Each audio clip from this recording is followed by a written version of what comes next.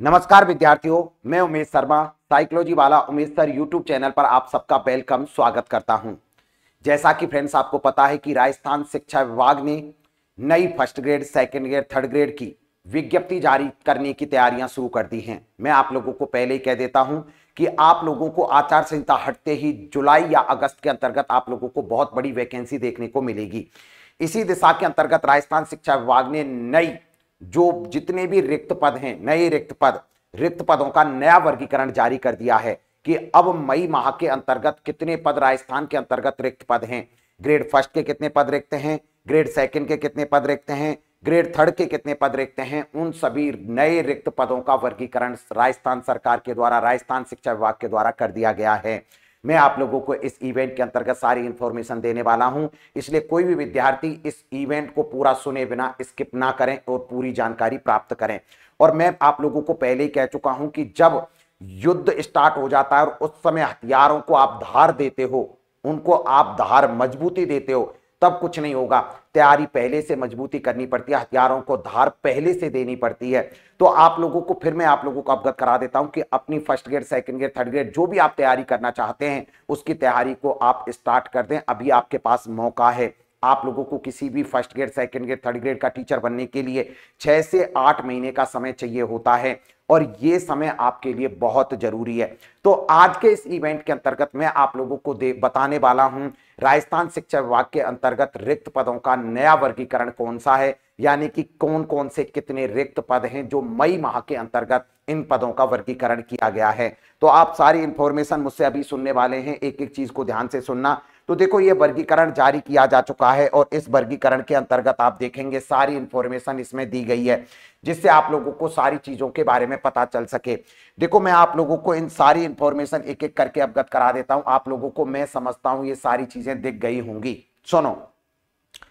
सबसे पहले माध्यमिक शिक्षा विभाग के अंतर्गत रिक्त पदों के बारे में मई माह की जो रिपोर्ट है, ये आ गई है। संयुक्त तो निदेशक के पदों के बारे में बात करें तो स्वीकृत पद कितने हैं? चौदह, कार्यरत छह, रिक्त पद आठ। आप लोगों के जो मेन काम का है ना, उस पर टारगेट करूँगा मैं। राय आपके जो मेन आपके लिए ज़रूरी है। सबसे पहले जो ज़रूर है ना, वो है आप लोगों का व्याख्याता। यानी कि यहाँ पर बात करते हैं व्याख्याता के पदों के बारे में कि व्याख्याता के पदों की स्थिति क्या है। राजस्थान के अंतर्गत पचपन हज़ार सत्रह रिक्त यहाँ पे स्वीकृत पद हैं, पचपन हज़ार सत्रह। इनमें से बयालीस हज़ार तीन सौ निन्यानवे पदों पर क्या है? पोस्ट कार्यरत हैं, कर्मचारी हैं। बाकी के बारह हज़ार छह सौ अठारह पद अभी रिक्त हैं स्कूल व्याख्याता के राजस्थान शिक्षा विभाग में। यदि मैं आपसे बात करूँगा तो देखेंगे प्राध्यापक शारीरिक शिक्षा, यानी कि बात करेंगे जो पीटीआई लेक्चरर लेवल पर ट्वेल्थ लेवल पर जो पीटीआई है, उनकी क्या स्थिति है? दो सौ इकसठ पद यहाँ पर स्वीकृत हैं, कार्यरत हैं 223 और यहाँ 38 पद रिक्त हैं। चलेंगे वरिष्ठ अध्यापक जो सेकंड ग्रेड के अंतर्गत आएँगे सेकंड ग्रेड अध्यापक, वरिष्ठ अध्यापक। यहाँ पर देखें, इक्यानवे हज़ार चौवन पद तो स्वीकृत है, इक्यानवे हज़ार चौवन। जिनमें से पैंसठ हज़ार आठ सौ निन्यानवे पदों पर कर्मचारी कार्यरत हैं और पच्चीस हज़ार एक सौ पचपन पद, पच्चीस हज़ार एक सौ पचपन पद सेकंड ग्रेड के अभी भी खाली हैं। ठीक है? यदि बात करूँगा यहाँ पर वरिष्ठ शारीरिक शिक्षक पीटीआई, वरिष्ठ शारीरिक शिक्षक पीटीआई के बारे में ग्रेड सेकंड के पीटीआई, इनके बारे में बात करते हैं तो 4050 रिक्त 4050 स्वीकृत पद हैं। 2143 पद कार्यरत हैं 1907 पद अभी भी कैसे हैं, खाली हैं। ठीक है, यदि मैं बात करूँगा यहाँ पर अध्यापक के बारे में, ये अध्यापक हैं आपके थर्ड ग्रेड अध्यापक। कौन से थर्ड ग्रेड के बारे में बात करें तो थर्ड ग्रेड के अंतर्गत देखेंगे एक लाख तीन हज़ार उनहत्तर पद तो कैसे हैं, स्वीकृत। बिल्कुल अस्सी हज़ार चौवन पद कितने हैं, यहाँ पर कार्यरत और तेईस हज़ार पंद्रह पद थर्ड ग्रेड के अंतर्गत अभी भी खाली हैं। तेईस हज़ार पंद्रह पद, ये मई माह का वर्गीकरण है, ठीक है? बात करेंगे शारीरिक शिक्षक ग्रेड थर्ड के बारे में। तो शारीरिक शिक्षक ग्रेड थर्ड ग्यारह हज़ार ग्यारह हज़ार पाँच सौ पाँच पद तो यहाँ पर स्वीकृत हैं। दस हज़ार सात सौ पिचासी पद पूरी तरीके से कार्यरत हैं और सात सौ बीस पद अभी भी कैसे हैं, खाली हैं बच्चा, ठीक है? बिल्कुल, पुस्तकालय अध्यक्ष लाइब्रेरियन के बारे में बात करें तो लाइब्रेरियन के अंतर्गत चलेंगे तो 43 पद यहाँ पर स्वीकृत। 21 पद के बारे में बात करें तो निश्चित रूप से 21 कार्यरत और यहाँ पर बात करेंगे 22 कैसे रिक्त पद हैं। पुस्तकालय अध्यक्ष ग्रेड फ़र्स्ट ग्रेड फ़र्स्ट, पुस्तकालय अध्यक्ष ग्रेड सेकंड, एक हज़ार अट्ठानवे पद स्वीकृत हैं, दो सौ नवासी पद कार्यरत हैं, आठ सौ नौ पद खाली हैं। पुस्तकालय अध्यक्ष ग्रेड सेकंड हो गए, पुस्तकालय अध्यक्ष ग्रेड थर्ड, आप देखो, तीन हज़ार सत्रह पद तो स्वीकृत हैं बिल्कुल दो हज़ार पद कार्यरत हैं और 980 पद कैसे हैं? 980 पद बिल्कुल खाली हैं। प्रयोगशाला सहायक के बारे में बात करें तो ग्रेड सेकंड के अंतर्गत 440 पद स्वीकृत 203 पद कैसे हैं कार्यरत और दो सौ सैंतीस पद अभी भी रिक्त हैं। ठीक है, चलो अगले बिंदु के बारे में डिस्कस करेंगे फास्ट तरीके से। एक एक करके आप इनके बारे में देखें। सारी इंफॉर्मेशन मैं आप लोगों को यहाँ पर अवेलेबल कराने वाला हूँ। मेन जो आपका टारगेट है ग्रेड फ़र्स्ट ग्रेड सेकंड उसको आप फोकस कर लेंगे तो आपको सारी इंफॉर्मेशन और सारी की सारी सूचनाएँ यहाँ पर देखें।